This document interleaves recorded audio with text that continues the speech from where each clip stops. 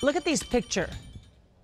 That highlighted area, and you can see the flash there, a lightning bolt that hit a boat in Cape Coral, causing it to catch fire. Incredible video new into the newsroom of the destruction. Clouds of black smoke covering Hancock Bridge Parkway yesterday afternoon.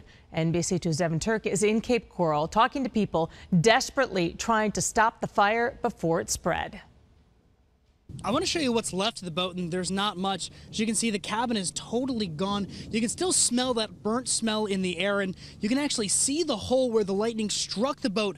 Also, look at how close it is to the building. It was a scary moment for those working here. Black smoke billowing out over Hancock Bridge Parkway. Noticed the smoke, and I was driving with my roommate, and he said, "Dude, that's your that's your job on fire." It was the boat parked out back behind Paul Kakabi's business. He was afraid the fire would spread to his building. We uh, pulled over here and uh, started freaking out. Ran around, tried to grab a hose, and put out as much as we could. Charlie Lopez was in the area and started flying his drone. I mean, it was uh, really intense. The heat was really intense.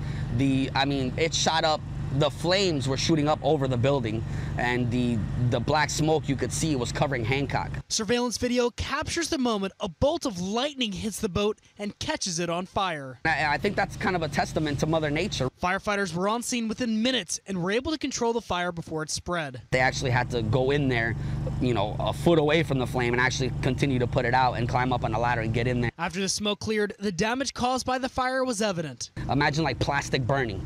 That's what it was. It just, if, it smelled terrible, absolutely terrible. All of this was filled with like really, really, really thick smoke, um, and it stunk really, really bad. Lopez says he's just happy firefighters were able to put it out before anyone got hurt. Firefighters say it was a total loss, estimated damage $39,000. Reporting in Cape Coral, Devin Turk, NBC2.